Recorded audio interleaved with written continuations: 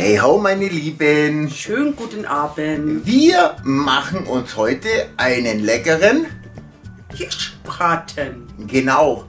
Rein theoretisch werden wir den füllen. Rollbraten. Hirschrollbraten. Ja. Ist es eigentlich. Ge so, so gekauft und äh, wir werden mal gucken, ob wir den eben füllen können. Mit so ein bisschen Maronen und Bacon und so. Und, Zwiebeln. Ja, genau. Und eine leckere selbstgemachte Soße. Ja. Dazu muss uns Manu aber jetzt zurückschnippen nach gestern, weil da wurde die Soße angefangen. Hey Spatzel, dein Schnipser hat dieses Mal funktioniert. Wir sind wieder bei gestern. Ja. Also dann hier die kleine Übersicht. Was hat mein Spatz hier alles hergerichtet? Einmal Wildfond, dann Korianderblätter, dann haben wir hier Piment gemahlen. Hier haben wir ein bisschen an Zimt gemahlen. Also eigentlich hat es ja geheißen, glaube ich, eine Zimtstange, Auch aber Holterbeeren. wir nehmen jetzt einfach das Gemahlene. Genau. Da sehe ich noch ein... Ein ähm, Lorbeerblatt. Genau. Angeröstete Wildschweinknochen. Okay. Auch nicht schlecht. Ein Stückchen Lauch, ein Sellerie, Zwiebeln, Möhrchen, Tomatenmark. Genau. Brauchen wir sonst noch was dazu?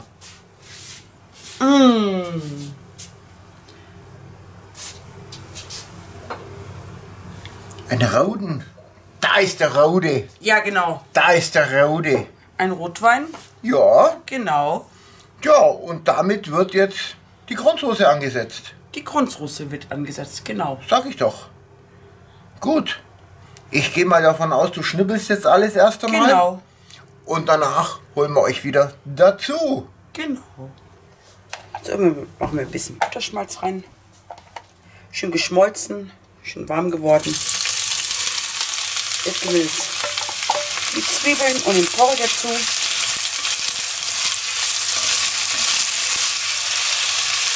Und den Sellerie. Und tun alles schön anrösten.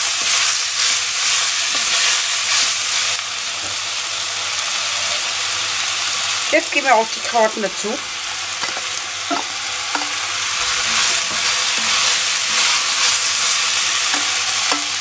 Und alles schön anbraten, bevor wir die Fleischknochen dazu geben.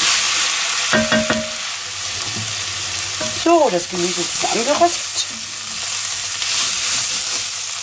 Jetzt kommen die Wildschweinknochen dazu.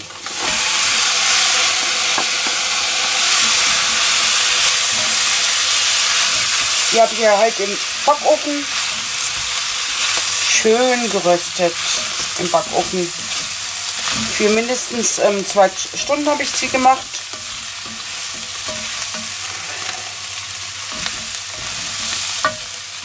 Jetzt gebe ich sie halt jetzt hier dazu. Auch ein bisschen warm werden.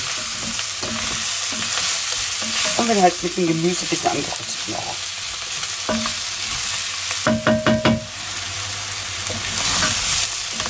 So. Das Gemüse ein bisschen angeröstet.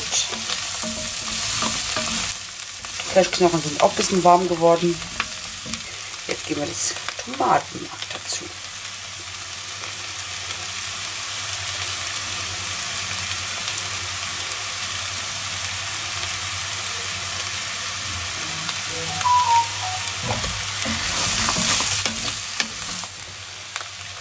Jetzt tun wir unser ähm, Gewürz dazu.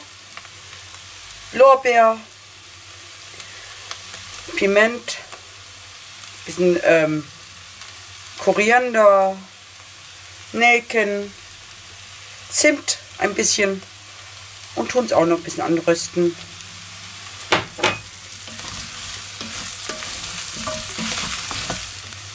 Und tun es ein bisschen ablöschen mit bisschen Rotwein.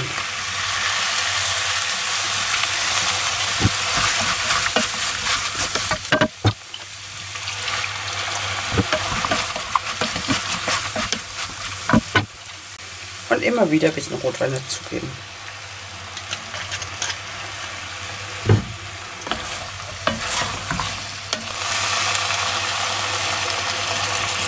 Und den letzten Schluck Rotwein.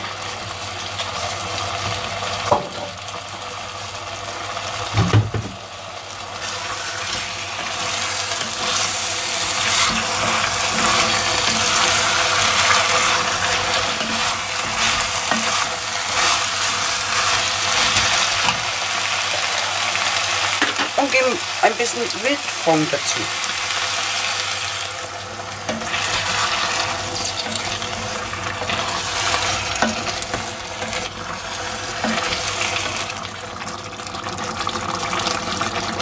Und den letzten Schluck.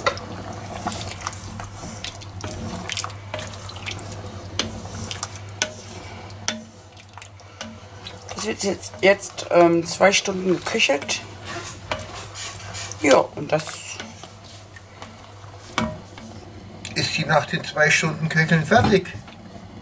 Das muss über die ähm, 24 Stunden noch ein bisschen durchziehen. Ah ja. Ja. Okay. Dann bist du jetzt mit der Soße, Soßenansatz soweit fertig. Ja. Dann schnipp uns doch mal wieder zurück, dass wir morgen sind. Äh, funktioniert nicht. Moment. Äh, ja, zurückklatschen hat funktioniert. Wir sind wieder bei heute.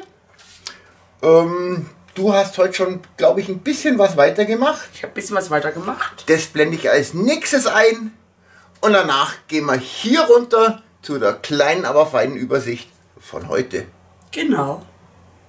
So, meine Lieben, ich habe die Soße über Nacht in den Kühlschrank, Kühlschrank reingestellt.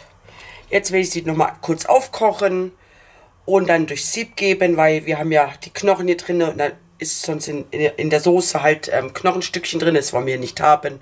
Und dann werden wir sie noch bisschen, werde ich sie noch ein bisschen abschmecken und dann, ja, geht's dann weiter. So nach und nach. Die Soße habe ich jetzt ins Sieb reingetan. Jetzt hole ich die Knochen raus. Kratze es noch ab, so gut wie es geht. Ja, das werde ich jetzt bei allen machen. Diese Knochen, die hier, die ich schon rausgesammelt habe, da werde ich jetzt noch ein bisschen, bisschen Wasser zugeben. Und ja, dann werde ich es auch dazugeben, weil da hängt ja noch ein bisschen was dran an Soße. Und deswegen, das wollen wir ja nicht wegschmeißen. Und das mache ich jetzt. Aber auch nicht zu viel. Sonst wird unsere Grundsoße ja wässrig. Also kann man ein bisschen Soße noch rausfiltern, die noch an den Knochen dran hängt, bleibt. Und wunderbar, ist noch ein bisschen was dabei.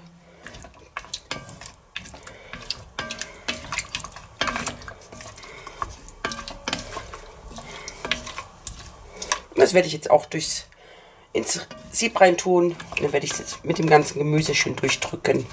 Und dann sehen wir uns gleich fertig äh, wieder, wenn, wir, wenn ich fertig bin. Genau. So. Das Gemüse habe ich so gut wie es geht durchgedrückt. Dass ja wirklich die gute Soße hier drin ist. Und sieht die nicht schön aus. Richtig schön dunkel. Jetzt werde ich sie noch gleich mal abschmecken. Ob da noch was fehlt. Und dann, ja, ein bisschen anticken. Und dann wäre sie schon fertig. So abgeschmeckt habe ich sie. Ich habe sie jetzt mal probiert. Da fehlt nur noch ein bisschen Pfeffer. Und das war's. Dann dicke ich sie mit die Speisestärke Flüssigkeit ab. Und dann wäre sie fertig. Und es gibt eine richtige leckere Soße.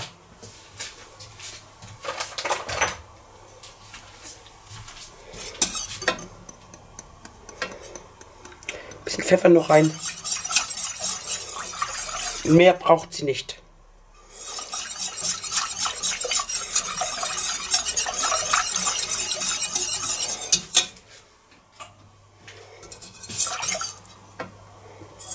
So. Richtig schöne, leckere dunkle Soße für heute Abend.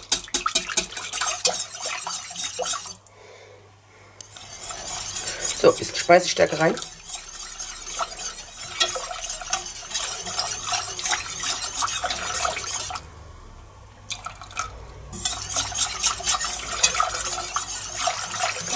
Und Mehr braucht es nicht. Na, den Schluck noch. Und kurz aufköcheln lassen und dann ist sie fertig.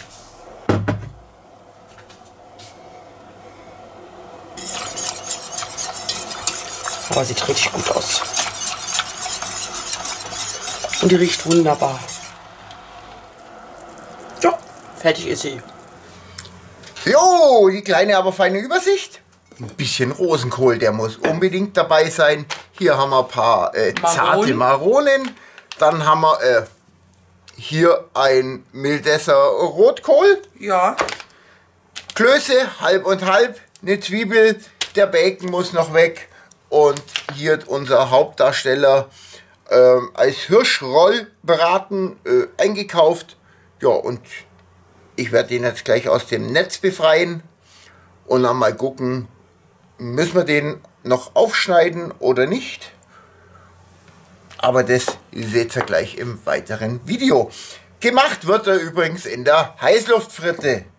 Und würzen werden wir ihn mit Pfeffer, Salz. Ja. Reicht eigentlich. Reicht eigentlich, ja. Ja, die Soße ist ja schon so lecker Richtig. geworden. Gut, legen wir los. Werden wir groß. Ja, dann wollen wir uns mal das Bratal genau untersuchen. Gehen wir mal Tscheche.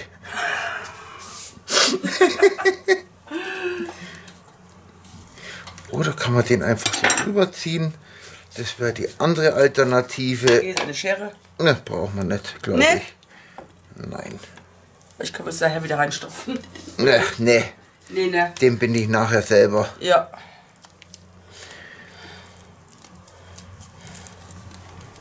Da, weg mm. das Ding. Jetzt bin ich ja gespannt, ob ich der auch. zerfällt oder. Ah. Ah. Mist. Naja, das kriegen wir schon hin. Das kriegen wir schon irgendwie hin. Also da haben wir ein schönes Stück. Und das schneide ich jetzt hier einmal auf. Ich will mal Faden. Ja.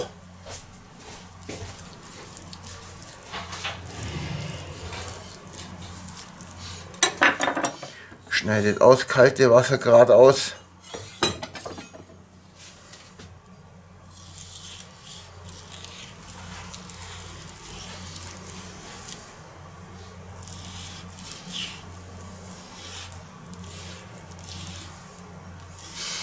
Ich mach gleich Hirschgulasch draus.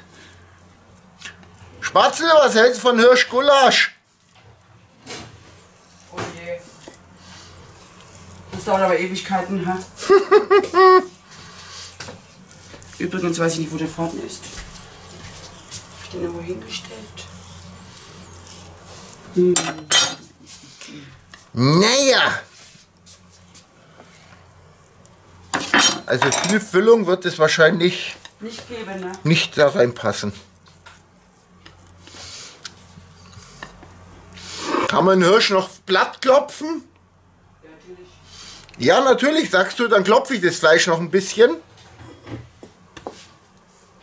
Das machen wir jetzt eiskalt. Dann klopfen wir den einfach noch ein bisschen flach. Versuch macht klug, Leute. Anders kann ich das hier jetzt auch nicht sagen.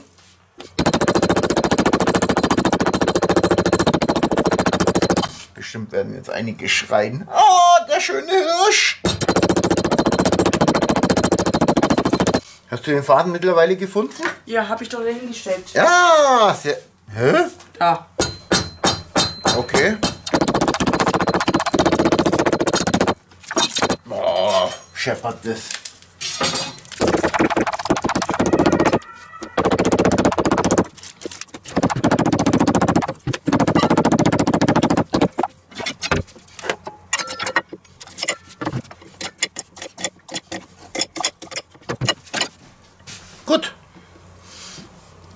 Salz und Pfeffer zum Würzen.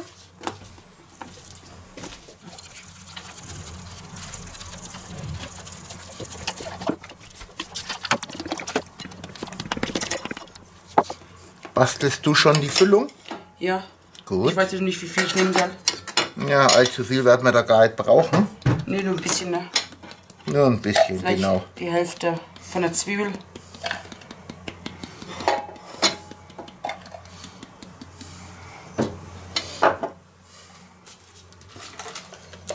Hallo, der war doch gerade offen hier.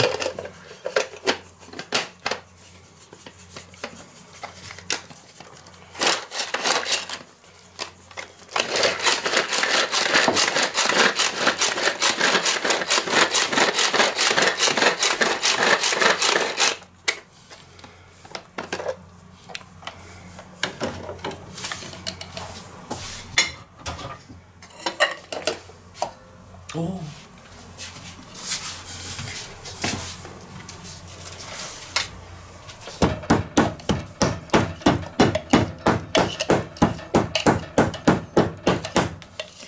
Klein bisschen ineinander arbeiten. Und dann ist es wie ein Stück.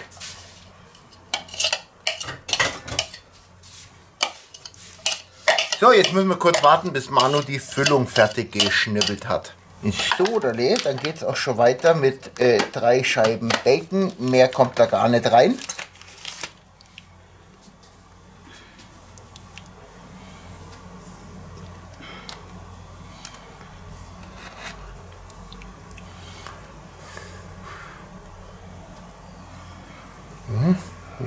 Der jetzt zusammen? Regt mich das auf. Erstmal so. Ah. Nächste Scheibe. So, die tun wir nämlich etwas überlappen lassen. Nicht schon wieder zusammenklappen hier.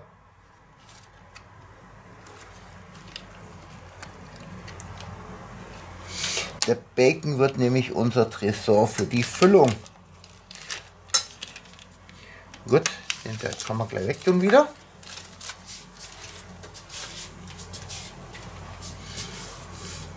Hirschbraten mit Bacon-Tresor. So, Füllung besteht jetzt eigentlich nur noch danach aus Zwiebeln und klein gehäckselten Maronen.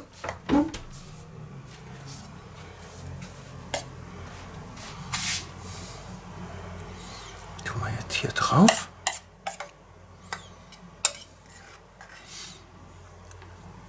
Leute, ich habe auch keine Ahnung, wie das hinterher schmeckt.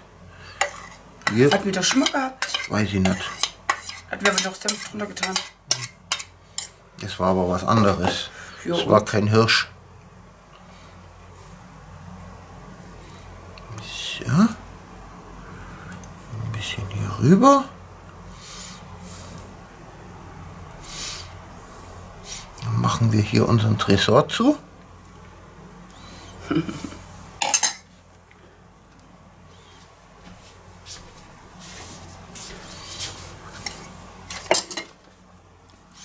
Dann kann man auch schon das Einrollen anfangen.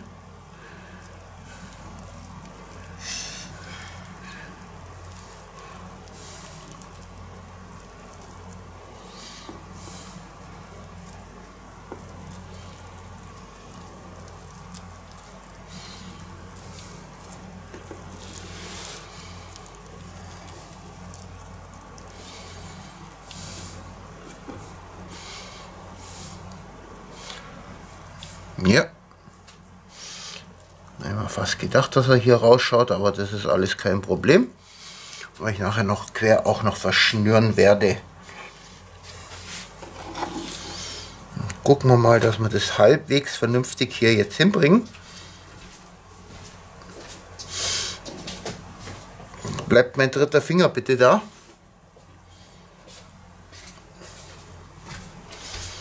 Bitte einmal Finger drauflegen.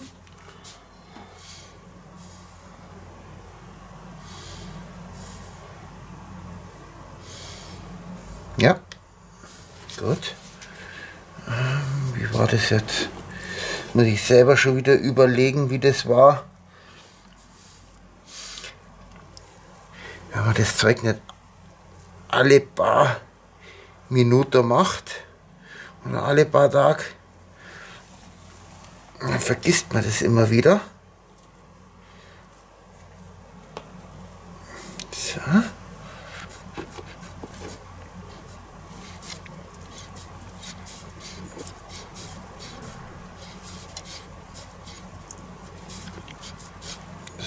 und jetzt wollte ich den nämlich noch einmal so verschnüren. Ah, Gott, oh Gott, oh Gott, oh Gott, oh Gott.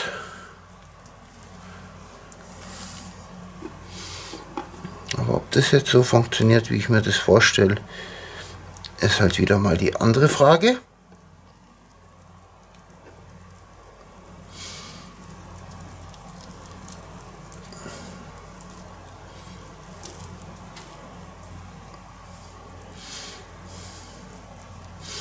Ich glaube, das gibt noch eine Zusatzschnürung. Bitte einmal Finger drauflegen. Ein bisschen rüber, ein bisschen rüber. Ja, jetzt, jetzt, jetzt. Ah, da. Muss auch erstmal gucken, wohin. Achtung, jawohl.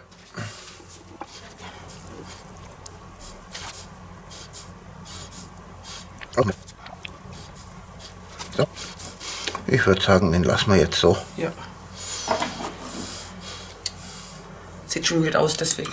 Mhm.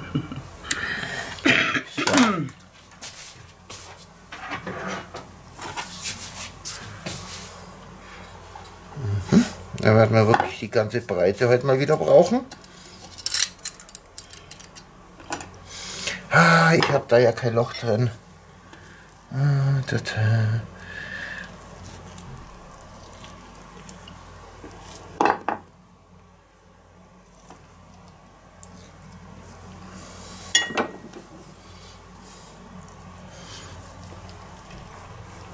sollte ich doch kommen.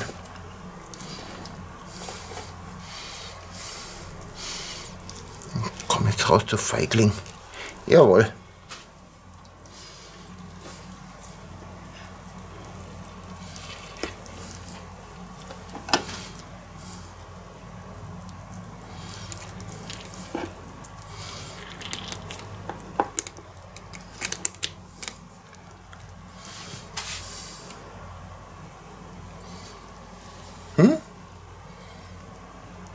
Was schimpfst du hinter mir in Zeichensprache?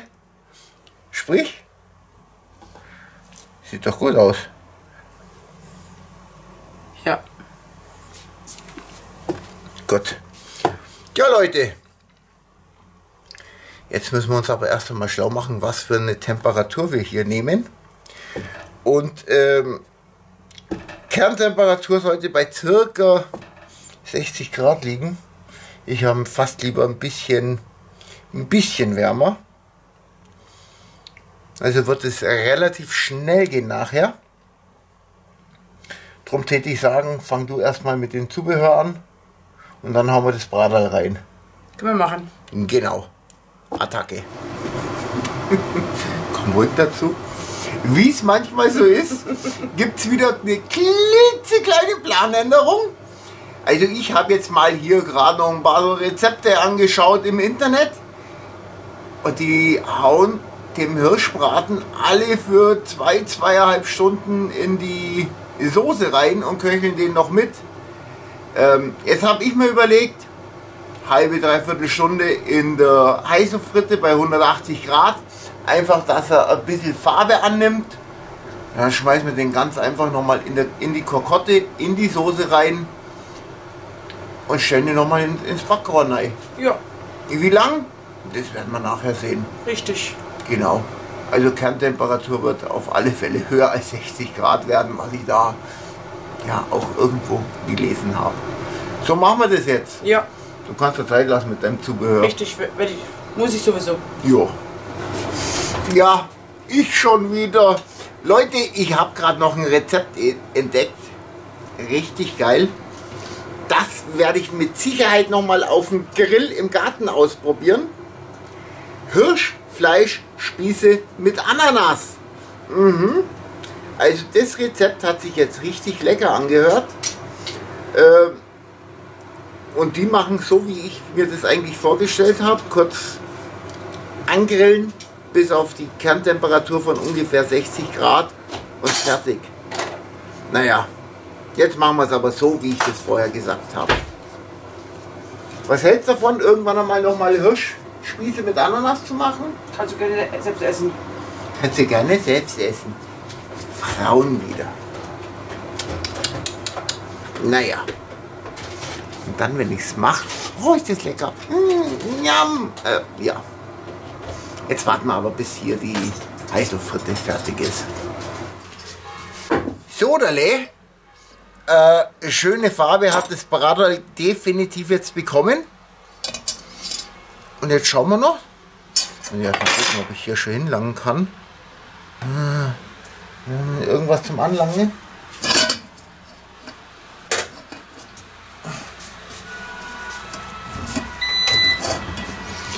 Dass ich den hier runterkriege.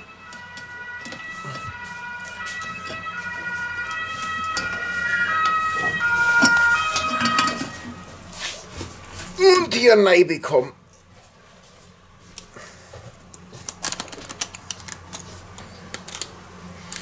Ja. Ja, geh halt raus und weg. So.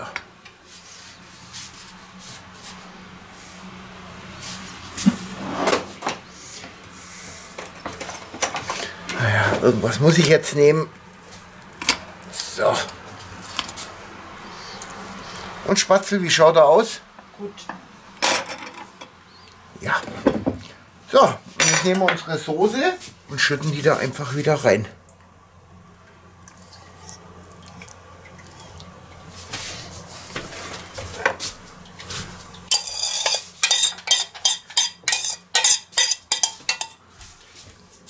Ah. Hm, aber schmeckt gut.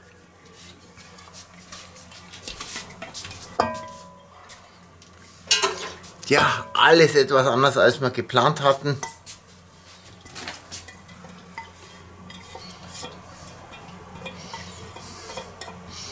Und dann tun wir den jetzt nochmal im Backofen.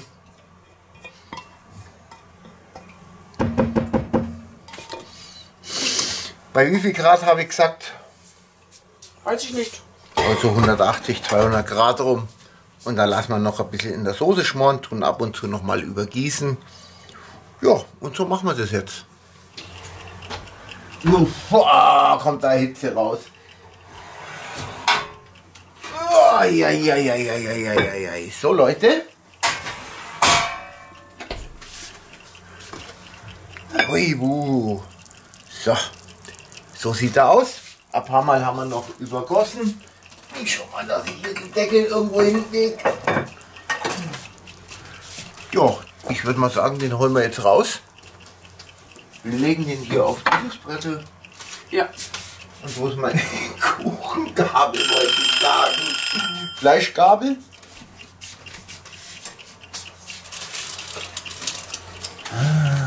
Bitte sehr. Jawohl. Tja, und da schneiden wir den gleich an. Tja, dann wären wir soweit. Ich fange jetzt gleich hier vom Rand her an zum Schneiden. Oh, sieht das schon gut aus.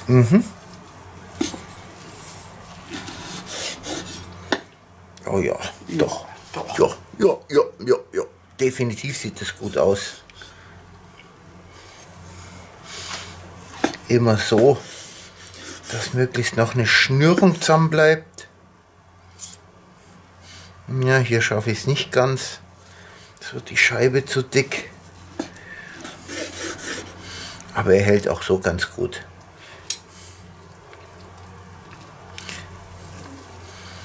Doch, er schaut gut aus, er riecht gut. Der wird mit Sicherheit jetzt auch gleich ganz lecker schmecken.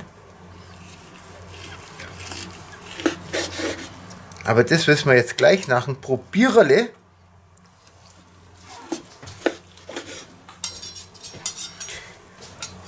Nachdem wir den Teller gefüllt haben, hergerichtet haben, ja, ihr werdet es gleich sehen.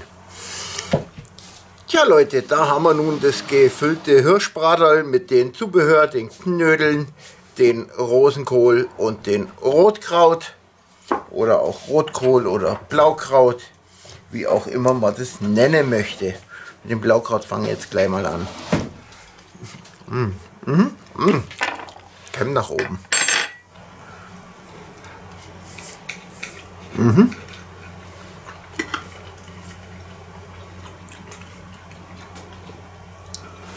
Ich liebe Rosenkohl. Lecker. Mhm.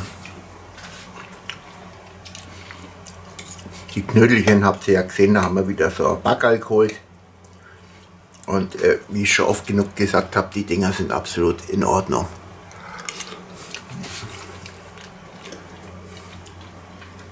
So, dann schneide ich mir was von meinen oder von unseren Hauptdarsteller hier weg. Versuche gerade noch die Schnur rauszubekommen.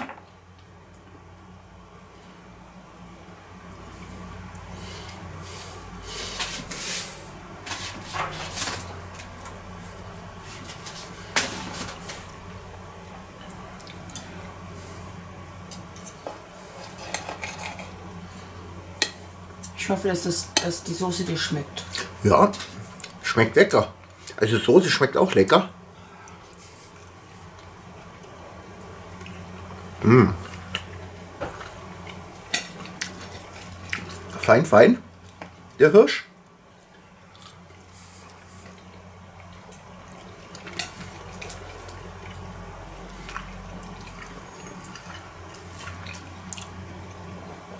Rundum gelungenes ähm, Montagsmenü. ja, hätte eigentlich unser Sonntagsessen werden sollen, aber jetzt haben wir es halt am Montagabend. Mm. Wir sehen uns nachher noch im Fazit. Ich gehe jetzt essen. Hoi. So Leute, dann kommen wir noch zu dem Fazit. Also ich finde, ich finde, ich fand, ich fand es eigentlich wirklich sehr, sehr lecker.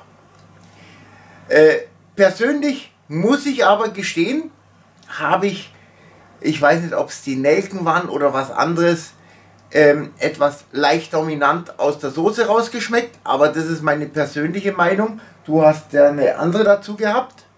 Ja, natürlich. ja. ähm, aber im Großen und Ganzen war es wirklich sehr, sehr lecker. Also ich bin wirklich zufrieden mit dem Essen. Das Braterl war super. Ähm, durch den Heißluftgrill hat er außen noch ein bisschen Kruste bekommen. Dann noch in der Soße ein bisschen weiter geschmort. Hat absolut astrein gepasst. Deine Meinung? Ich fand das Essen richtig lecker. Zu dem dominanten Geschmack, was ich gemeint habe? Fand ich jetzt nicht. Fandest du nicht? Ja, Geschmäcker sind halt unterschiedlich. Da kommt es wieder auf. Hm, Was will man machen? Aber ich habe es trotzdem genossen, das Essen. Muss ich ganz ehrlich so sagen. Ja, zum Schluss noch was in eigener persönlicher Sache zu meiner Wunschliste.